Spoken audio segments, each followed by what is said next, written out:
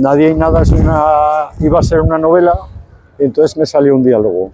Eh, no lo controlaba yo, no tenía previsto para nada, pero la verdad es que hay dos personajes que no saben quién son, no tienen memoria, se ponen a hablar a ver si deducen algo de, de, quiénes son, no, no saben qué sexo son, no saben nada. ¿no?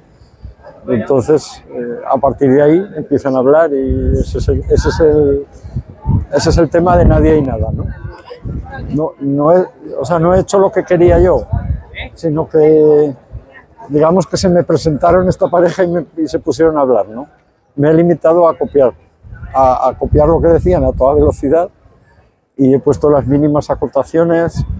Hay otro personaje que sale por ahí, eh, pero no se sabe tampoco muy bien quién es. Entonces es una cosa entre un poco Kafka, un poco Becker, un poquito ciencia ficción. La ciencia ficción ahora es costumbrismo, porque con los avances que hay eh, sale, ya, sale ya la vida cotidiana. ¿no?